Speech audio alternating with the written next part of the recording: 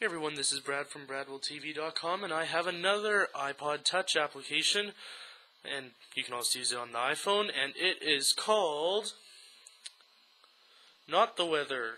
It is called iBowl. And what this game basically is is bowling on your iPod Touch.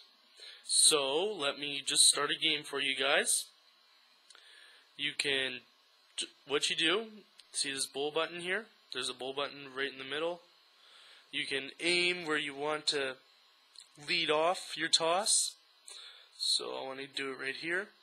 Then you hold this bowl button and then use the accelerometer on the iPod Touch to uh, give it momentum. So I'm going to hold this bowl button and once I swing the iPod Touch, I need to let go of the bowl button and it will swing the ball down to the pins and hopefully it'll get a strike. So let's try it. Let's try it. There we go. Very slow mover. And then you can tilt the iPod Touch so you can direct the ball. Oh, what a shot, hey? Um, yeah, so you can direct the ball, as I mentioned. So let's try that again. I'm going to turn it, turn it, turn it. Not enough. And uh, it's basically a bowling game. So I'm going to try and go back here. There we go. They also have high scores. Let me get this back into focus for you guys. Let me, there we go. High scores, right here. They also have instructions. They have challenge a friend, options, which basically is only the sound options.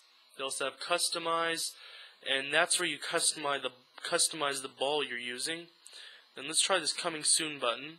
iGolf, iBowl, iBaseball. So these are just basically sneak peeks on updates that you can get for these type of applications. So that's it for our first look at the iBowl application. It's a very fun game.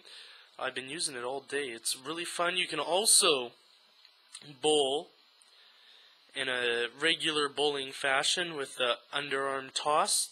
It's really, really fun, very realistic not real life, of course, but very good for a game.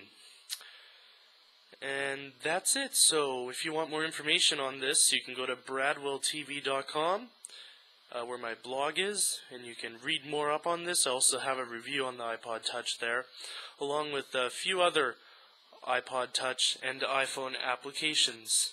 Thanks for listening.